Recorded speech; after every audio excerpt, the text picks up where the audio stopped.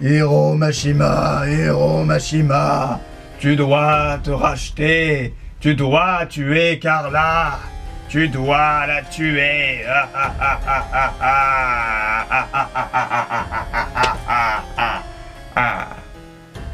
Ah, vous êtes là.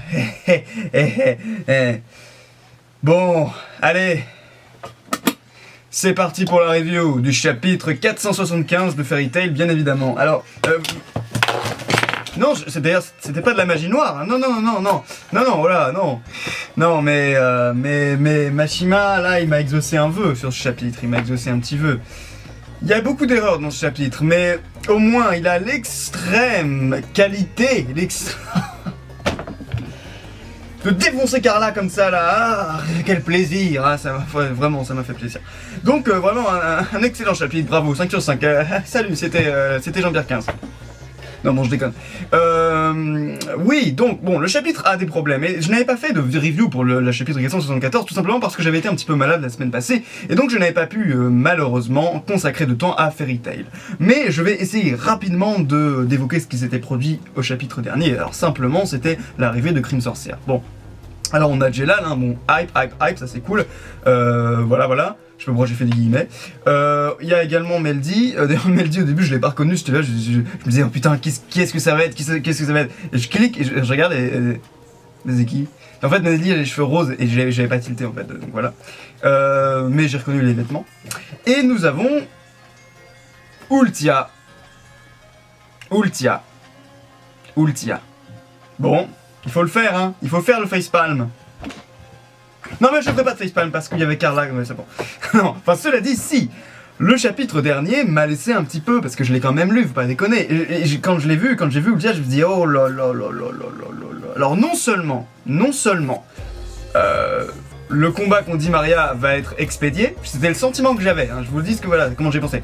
Et en plus de ça, avec l'arrivée d'un personnage qui n'est pas censé être là, et dont l'arrivée est quand même est un petit peu aspool, si vous, si vous me, me- me permettez l'expression. Parce que, vraiment, bon, euh, sa fin à Ultia, rappelez-vous, euh, sa fin était plutôt bien écrite, plutôt bien amenée. Je veux dire, même plus vraiment bien amenée. Dans, l'anime, c'était vraiment chouette. Et, euh, et comment dire, c'était chouette, c'était émouvant, c'était intéressant. Et son parcours était plutôt complet, il n'y avait pas besoin d'en rajouter des tonnes. Ultia, que je dise pas de conneries, on, la, on, la, on- on la connaît depuis, euh, euh, depuis l'arc de l'île Laguna, donc en fait, oh putain, depuis un sacré paquet de temps, et donc voilà. Et à la fin, quand elle euh, se sacrifie en gros en utilisant sa magie du temps, et quand elle, remonte le temps en fait, et qu'elle, au prix de sa, propre, aventure, sa propre aventure si vous voulez, en tant que mage, eh bien, c'était beau, c'était réussi. Et là, le fait qu'on la retrouve, c'est un petit peu bizarre. Comment est-ce que je pourrais, est-ce que je pourrais trouver un autre exemple avec d'autres mangas? Euh, Par exemple, est-ce que, euh, tiens, si, la mort, je sais pas. Par exemple, la mort de belle-mère dans One Piece. Normalement, je spoil rien parce que ça fait quand même assez longtemps. J'ai pris exprès un personnage qui est mort depuis longtemps. Si on la fait revenir, ça a fait aucun sens parce que belle-mère s'est sacrifiée. Un sacrifice, c'est une lourde charge émotionnelle. C'est un élément dramatique important.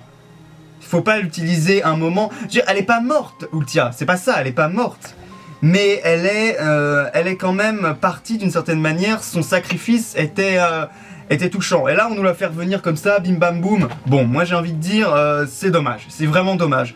Après, de ce que j'en ai vu dans le chapitre 475, c'est peut-être juste. une- Enfin, bon, alors là, faudrait l'expliquer par contre, hein, parce que ça n'a aucune explication. Mais ce que je me dis, c'est que c'est. Et d'ailleurs, de fait, c'est pourquoi elle est encore jeune dans ce chapitre, c'est peut-être parce que c'est juste une image en fait.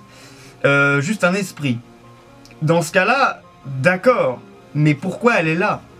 Pourquoi elle est là en tant qu'esprit alors qu'on sait comment elle a fini euh, après l'arc euh, après l'arc Eclipse donc, donc voilà, ça, ça fait pas vraiment beaucoup de sens, de toute manière.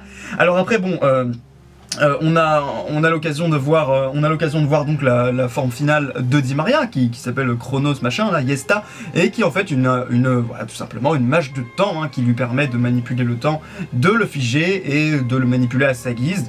Et c'est pour ça qu'elle, c'est pour la, c'est la raison pour laquelle elle a dans son nom le mot Chronos, hein, Chronos qui est évidemment le dieu du temps, le titan du temps hein, dans, dans la mythologie euh, grecque. Bon, bah écoutez, moi j'ai bien aimé cette forme. hein. Franchement, j'ai trouvé qu'elle était très badass. J'ai trouvé que le dessin était plutôt chouette, plutôt, plutôt bien, bien dessiné, plutôt assez impressionnante. Même si j'ai le feeling que de toute manière, au prochain chapitre, elle est finie. hein. Je- au prix où euh, on nous les vend, les prix des Spriggan, je pense que elle, c'est pareil, elle, va, elle va être terminée dans, la, dans le chapitre suivant. Bon, alors après, euh... ah oui, autre chose. Euh, vous avez remarqué dans ce chapitre, vous l'avez vu? Le, si, si, Wendy et Shelia, elles l'ont fait le regard du personnage principal. Attendez, c'est page. Oh bah de toute façon, c'est pas compliqué, il y, a, il y a 20 pages. Oui, c'est ça. Page 18. Allez-y, page 18, regardez. Bam Wendy. Shelia. Avec la couette, comme ça. Ça, ça veut dire. Ok, on est plus faible, on n'a aucun moyen de te vaincre, mais on va quand même gagner parce qu'on est les personnages principaux. Bam Et faut avouer que c'est la magie la plus puissante dans Fairy Tail. Voilà, bon, alors voilà, j'ai pas d'autres grand chose à dire. Euh, j'ai pas. Voilà, c'était pas.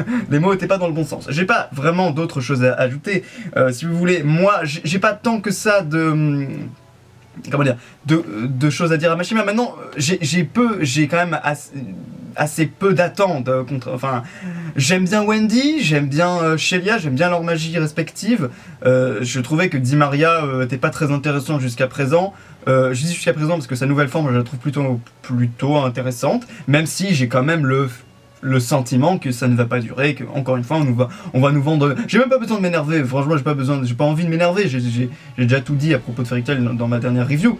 Bon, après, faut dire que voilà, c'est- cette forme est plutôt, plutôt intéressante. Le fait qu'elle soit un dieu aussi, ça c'est intéressant, je pourrais en parler. Le fait qu'elle soit un dieu et qu'elle en face d'elle une God Slayer, en la personne donc de Shelia, ça c'était quelque chose qui pouvait être à mon avis un peu plus développé. Bon, euh, visiblement, euh, elle est quand même au-dessus, euh, et je peux comprendre. hein. je veux dire, bon, c'est pas parce que, hum, c'est pas parce que, je sais pas, Natsu est un chasseur de dragons qui va forcément pouvoir vaincre gars. oui. C'est pas forcément ça. Mais enfin bon, il y avait peut-être quelque chose à, développer là-dessus. Et effectivement, Shelia, là, euh, elle l'a dit dans une case. Donc j'ai dit, ah Dieu merci, merci. Au, au moins, il il l'évoque. Bon.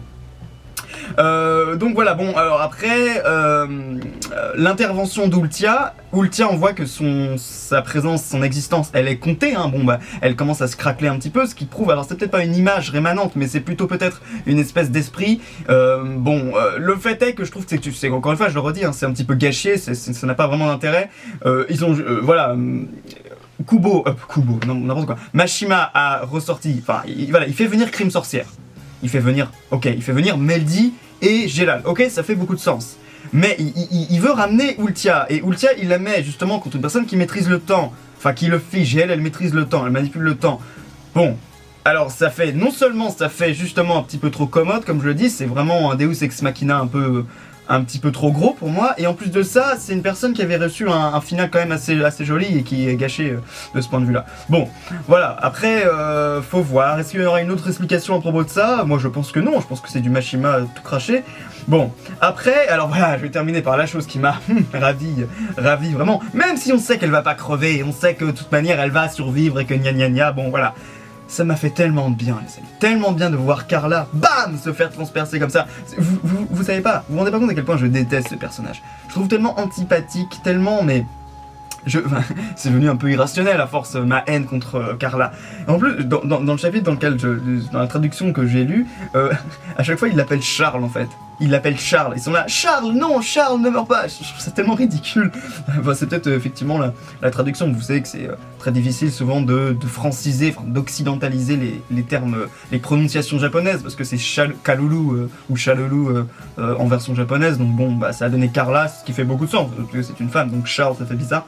Mais le fait qu'elle se fasse transpercer parce qu'elle veuille encore protéger Wendy, j'ai envie de dire, Wendy, elle a plus vraiment besoin que tu la protèges.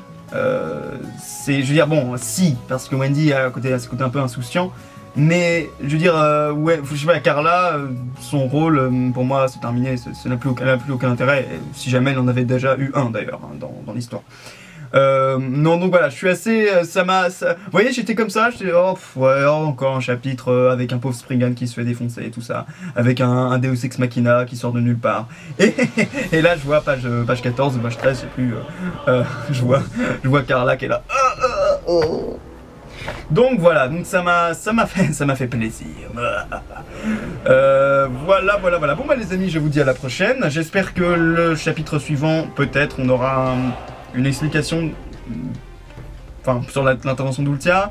Euh, j'espère que, que Carla va mourir et euh, j'espère que peut-être euh, peut-être Wendy va passer en, Dragon Force je dis que je pas de conneries. Oui, bah oui, elle l'a, bah oui. Et que Shelia sera pas juste un sidekick et qu'on utilisera réellement ce personnage. Euh, et que Di Maria ne sera pas utilisé. Bon, là j'ai très peu, j'ai très peu d'espoir, hein, je dois vous le dire. Mais j'espère vraiment que Di Maria sera pas expédiée au prochain chapitre, même si je pense vraiment qu'elle le sera en fait. Donc voilà. Euh, chers amis, je vous dis à la prochaine et passez une excellente semaine.